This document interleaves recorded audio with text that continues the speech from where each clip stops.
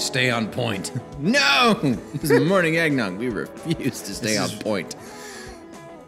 Greetings, everyone. This is Morning Eggnog. My name is James Wong. With as always, Caleb. Good morning, everybody. So, Caleb, I've gone to a lot of fast food restaurants. Okay, yeah, me too.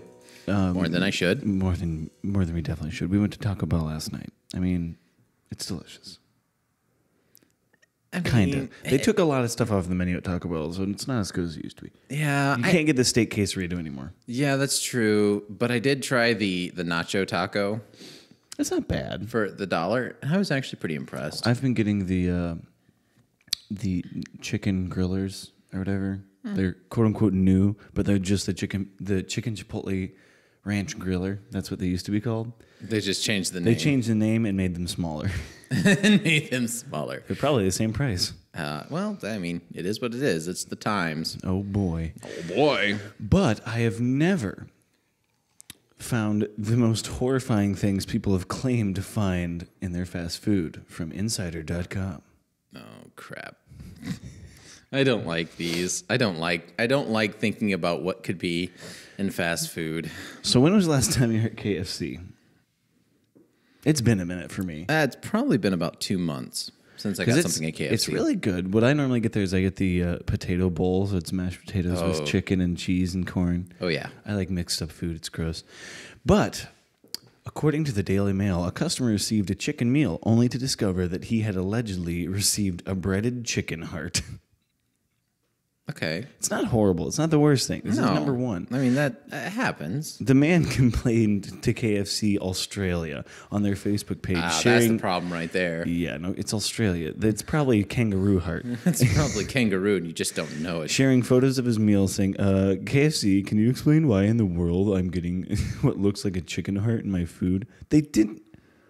Well, this is a dumb article now. They didn't include a photo. And Colonel Sanders. But anyways, he was he asked for a full refund. Well, I mean uh, that's probably acceptable. I mean it's only like what twelve bucks, Some- fifteen it bucks. can't be that much. I think it would be acceptable for that. This is the most recent disturbing extra topping we allegedly discovered by a woman in Lang, Langhorne, Pennsylvania.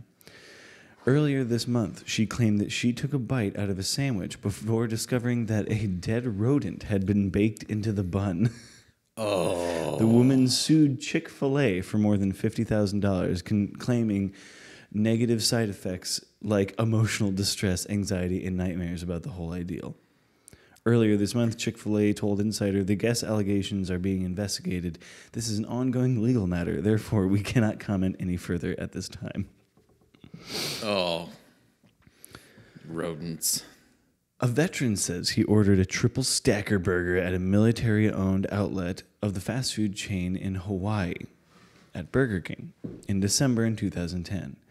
He told the Associated Press that while eating the hamburger, he knowing he unknowingly bit into a needle or wire that pierced his tongue and caused it to bleed. Oh, A few days later, he said that he saw a doctor due to the severe stomach pain and found that out that he had ingested was a piece and that what pierced his stomach, his what? Out that his in- intestine, Intestine was, was- pierced by a needle. I'm retarded. Or wire. I like how it's needle or wire. Like they don't know what it is. And he was put on bed rest for a week.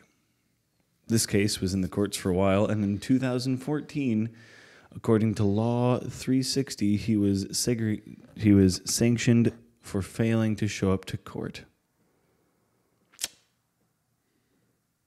He didn't show up, so he didn't make any money. makes you wonder what that was about. Anyways, Okay, I'm I'm, kind of sad by this list. A piece of human flesh with fingerprints attached was the not so appetizing add on allegedly found on Arby's chicken sandwich in Ohio in 2005, according to the Associated Press. must have been around Cincinnati. not, not to throw anybody in Ohio under the bus, but there you go, Cincinnati. Now, this is very believable. A dead mouse supposedly found it in a Subway sandwich. Yeah. I can I can get on that. And then supposedly the last one is a bit gross. An unwrapped condom found in Burger King sandwich. Yeah. So, whenever you're eating something from a fast food restaurant, remember uh, always check it first. Yeah, there's nothing Especially wrong. if there's pickles on it. Then just give them to me. I'm the pickle friend. I love pickles on I do sandwiches. I, don't know. I don't get people that don't like Every group has a pickle friend, I supposedly. I'm the pickle friend. Like, my friends don't like pickles, so they give me all their pickles. That's weird. I think I agree. Yeah, because I mean, every time I go, I, honestly, one of my favorite burgers right now is actually Wendy's, the double stack, Oh, it's super good.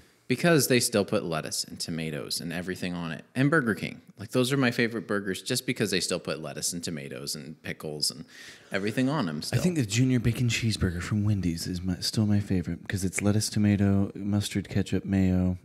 Yeah. Well, if you ask for the works at Wendy's, they'll put the ketchup, those ketchup tomato or Mm. the uh, the tomato. I keep saying tomato. Mayo the ketchup, mustard, and mayonnaise on it, and pickles. and pickles. The works. The works. The works. Don't ask for the works at Five Guys because you get fried mushrooms. Ooh, that actually probably would be pretty pretty good. I just oh, you have I- to like fried mushrooms first. you do have to like fried mushrooms, and they can only be like a certain amount, like Exactly. maybe two or three. People that like raw onion on their sandwiches are weird to me. yeah, If you cooked onion on a sandwich, not too bad. Raw onion, it's not. I'm not a fan. I guess it depends on what you want for flavor. Like if you want bold onion, then yeah. You're disgusting. Oh, I don't mind. I don't mind uncooked onion. Boiled onion. Mm, good onions. All right. Passenger flight turned around in Sudan when stowaway cat attacks pilot. Wait, what? A pilot? It Attacks the pilot. Good morning, ladies and gentlemen. Holy crap! There's a cat in here. Ah, we're going down. Get the cat off me. Oh my gosh. March 3rd, a passenger plane in Sudan turned back 30 minutes into the flight and made an emergency landing when a stray cat stowaway caused a ruckus or ruckus. it's, an, it's a terrorist cat.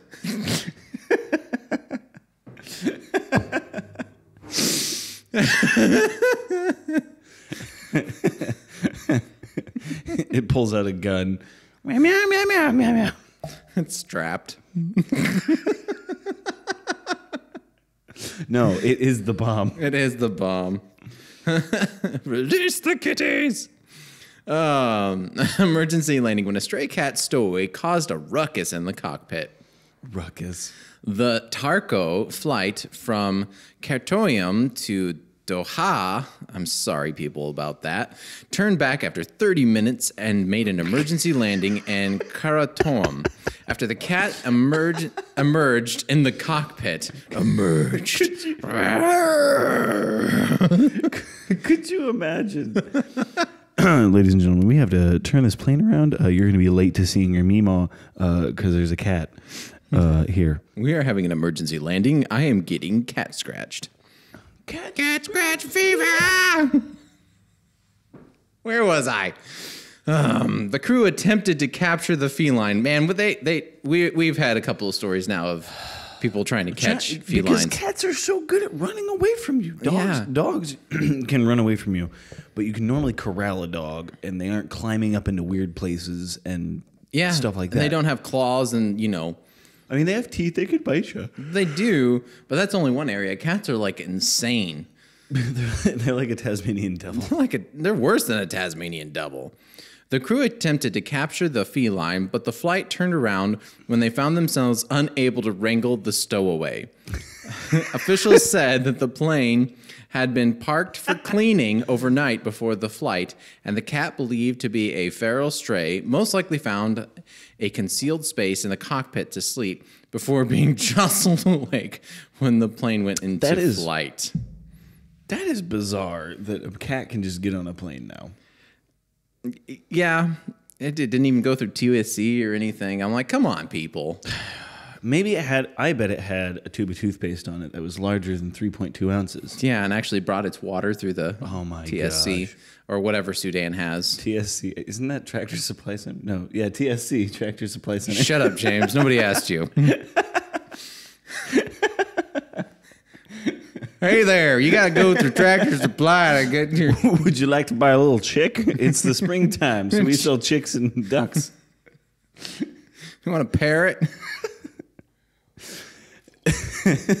uh, yeah, our local hardware has random animals like parrots and Yeah. Wait, Yeah. what? I don't think I knew that. and Brian.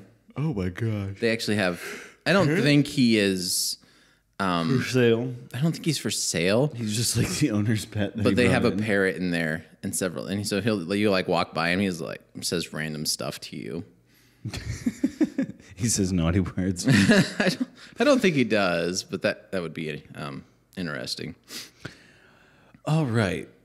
So some would say uh, that I have arguably a really terrible job. I'm a plumber, and Caleb has been delving into plumbing recently.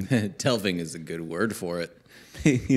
They've thrown him in, in uh, with a very small life vest into the deep end of plumbing. Here's a hand auger. Go get it. Ah, I don't want to. What do I have to do? but I, uh, I think I can agree, according to CareerAddict.com, that these are the top 10 grossest jobs. Number 10. If you've ever watched Jurassic Park 3, you, you probably cringed a little bit when you realized how young Eric came to collect T Rex pee while stranded on the isle. What? You don't remember that in Jurassic Park 3? I don't think I've ever seen Jurassic Park three. It's a terrible, horrible movie. It's really stupid. At one point, there's a dream sequence where a raptor talks to Alan. Are you serious? It says, Alan. It's a raptor. And then he wakes up and he goes, what? It was it's a really dumb movie. That being said, a pee collector is a very real job. And there are many areas you can specialize in. oh gosh. Pee collectors, uh, this large word, pee collectors, for example, lay down large plastic sheets or attach plastic bags to poles and hope to catch ape urine samples to study the factor, the factors and effect of reproduction. I have such an easy job. Dear Where do you think they're gonna pee at? right in my mouth. Ah, dang it! Deer urine farmers, on the other hand, are tasked with collecting and selling Bambi's urine to deer hunters who use the scent to attract other deer. Bam! Loin. loin venison with broccoli and Stilton puree. Stilton? That whatever. And red wine sauce. Sounds good to me. It does. Not the not the pee, but the, the, the food. Now, not far, not far beyond that is the manure inspectors. The job of a manure inspector is really straightforward. they are tasked with collecting if farm animal poop and testing the samples to make sure they are free from contaminants, so that any harmful materials do not spread to infect vegetation, animals, or customers like you and me. I mean, that one's that one's not so bad. That one, I mean, for the most- most part, it's already on the ground. So all you have to do is slap a pair of gloves on, pick it up, throw it in a bag, and away you go. Now, I have never personally uh, thrown up on a roller coaster, but vomit collectors. Roller coasters can often be a stomach churning experience, and the accounts of people throwing up after and sometimes during the ride are plentiful. I'm certain there's video footage on YouTube and evidence of this, but let's not look that up. No, let's not look that up. The question, though, is who cleans up the vomit? At this theme park, that would be Mr. Owens, who was hired in 2009 to keep the park's most extreme ride, Saw, the ride vomit free. He has to keep the, Saw the ride vomit free. That's right. Mr. Owens' job description is to clean people's vomit, which in 2008 estimated 150 liters.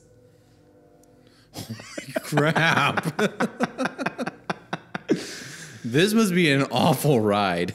over 619 sick shutdowns at least gets he gets to mm. ride the roller mm. coaster when he's not picking up chunks oh, okay. So I have a weakness. It's not poop. It's not pee. It's snot and vomit. I think are my two weaknesses. Mainly snot. Like I just can't take snot.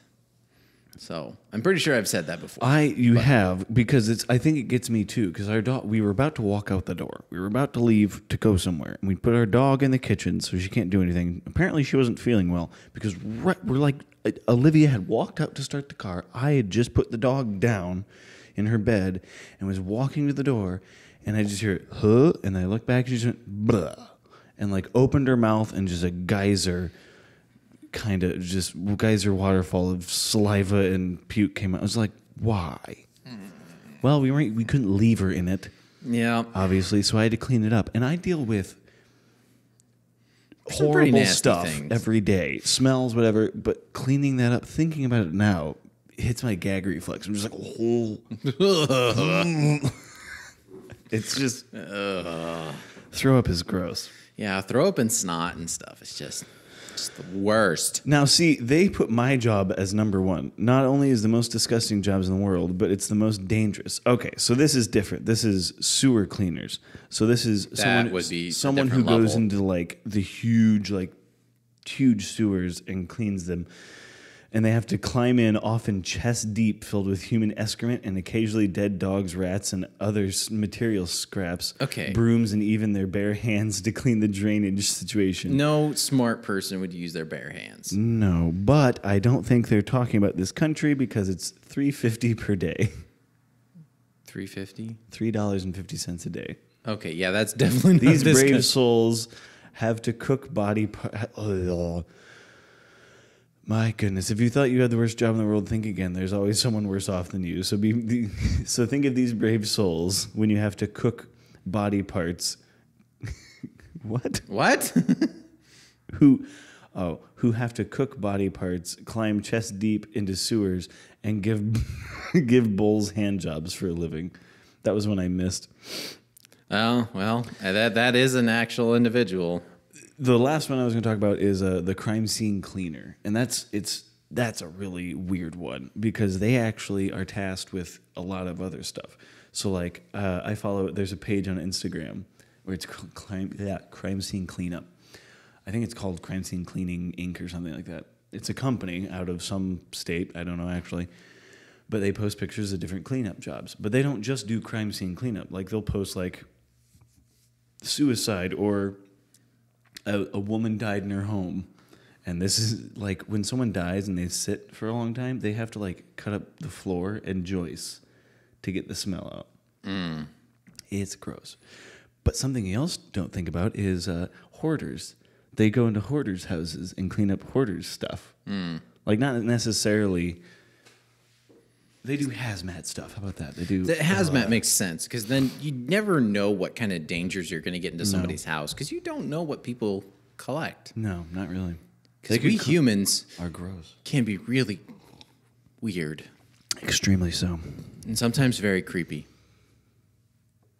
Anyways, speaking of that, Speaking of humans being creepy, so James, how much would you pay for whale vomit?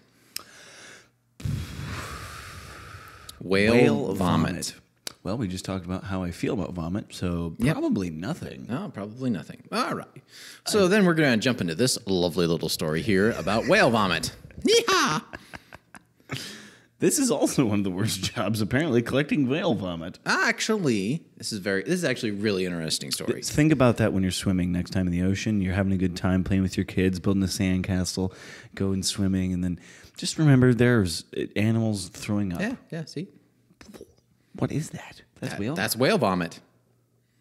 It looks like a, a chunk of lard. it looks like a giant potato. That that yeah, or It's about rock. this big and this tall, wide, whatever. It's about. It looks like a potato. Anyways, Siriporn stumbled upon an unusual mass in Thailand and decided she would drag it back to her home. Okay, so just for starters, this is all in kilometers and grams and stuff. So, uh, yeah, you can tell it's from a different area than we live in. Decided to drag it back to her home half a kilometer away before realizing realizing it was a valuable. I'm going to try to pronounce this right. Embergrass. Embergrass. The lucky woman found a huge lump believed to be an expensive whale vomit, wa- whale vomit washed up near her beach house. What? While walking along the beach after a rainstorm, when she noticed the strange mass near her house, she walked up closer to the It's like a substance. mile. That's like a mile away. It's quite a ways. Uh, to have a look and found a it had a fishy smell. Gross. Thinking that it could be guy. something she could sell, the 49 year old dragged it back to her house and was around 500 meters away from the beach. And again, using random words. The oval shaped lump weighed seven kilograms and was about 12 inches wide and 24 inches long. Wait, what? Why are they switching this up? No, it's still the same. It's still the same. Inches are not the same as. Did it say inches? Yes. I don't know. they, they can't get their stuff straight. Either stick to I, I think or it's st- I think it's because it's English, and so they so they actually want to say stone and I whatever. I don't know. I don't know. Based on previous sales, what the heck? the weight would give the vomit, also known as Why? ambergris, I think is Why? how it's, an estimated value of around one hundred and eighty-six thousand five hundred quid. what is this for? Why would you spend that much money? Okay, it, it, it makes sense. I really had a genuine ambergris. I'm pretty sure I'm saying it right, but I can't be sure. I can't help my uh, community once I buy once I find a buyer for it. So she's excited to help her community. I feel lucky to have found such a large piece. I hope it will bring me money. I'm keeping it safe in my house, and I have asked a local council to visit to check on it. Uh, see, you scroll down here. Why? Yeah, it- this is the yeah this is the interesting part. It looks like a moldy potato. It does. It looks Or disgusting. It looks like a, a giant. chunk of fat is what it looks yeah. like. The woman asked her neighbors for help identifying the object. Was shocked when someone told her that it could be a rare substance. To further check with the lump was actual ambergris. They held a naked flame to some of the parts, which caused it to melt. It hardened again after cooling. The waxy lump also had a fishy smell and other indications. It's just it's just weird. Did they explain why this is expensive? Yes, they do. I'm trying to find it. Yeah, she, he's he's scrolling through a website which has what it's about ninety percent ads and ten percent story. Ambergris is produced by sperm whales when bile ducts in the gastrotesticle gastral test testinal. I'm sorry, it's more it's early. Track me. yeah, dang, this got stuck in my testicles. That's how that's how the sperm whale do. Uh, track makes secretions to ease the passage of large, sharp objects. I mean, So like if I they swallow a fish that. or something, it like coats around it so they can get rid of it easier. The whale then vomits the mucus, which solidifies and floats on the surface of the ocean. That's so weird. And of course, the rest of it, it's here somewhere. So since my thing's being stupid, basically they use it in very expensive perfumes. We use a lot of weird stuff in perfume, and st- why? What is it for? I'm so perplexed. Okay, I'll bring it next time. I'll bring I'll bring more information Oh gosh. on that because I so was anyways, like, a hundred. I don't think vomit's worth anything, but apparently it's worth one hundred and eighty-five thousand dollars, according to these people here. for, for a big chunk of vomit, yeah, it's worth some money. So keeping when you guys are walking the beaches out there of wherever you're at, wherever they, I don't know, wherever the the whales go by. wherever the whales go by, not Make the Ozarks. Make sure to check for whale vomit. Make sure to check for whale vomit. It looks like a chunky fat potato with the peelings gone. Oh gosh. Because you could just make some money. I love how she just. I bet she just picked it up.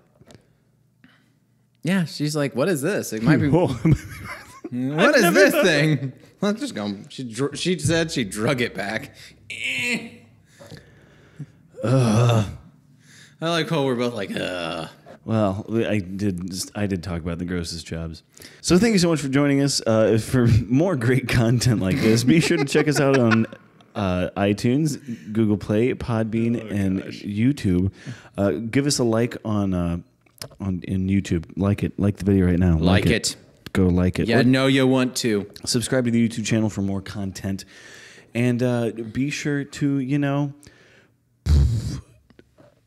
give a green screen suggestion, and also like us on go rate us on iTunes. iTunes is good too. We have we only have like four ratings, so go go rate us on iTunes, and uh, if you can send me proof of it and I can see it. Don't tell people how many we've got. Just be like, go I- rate us on iTunes because we're awesome. I will read your your rating on the show, and I will PayPal you a dollar PayPal dollar. or Venmo, whatever you choose. So thanks so much for joining us. Be sure to check us out on all those things. Oh my! It, James. Let's wrap this up quick. before other horn noises come out. thanks. thanks These metal chairs hide nothing. they don't. We need pillows. We need pillows to hide our farts. I think, I think the best part is the mic probably didn't pick it up, but I could hear it because it vibrated too. oh man. Thanks so much for joining us. Have a wonderful morning, noon, or night. Uh, see ya.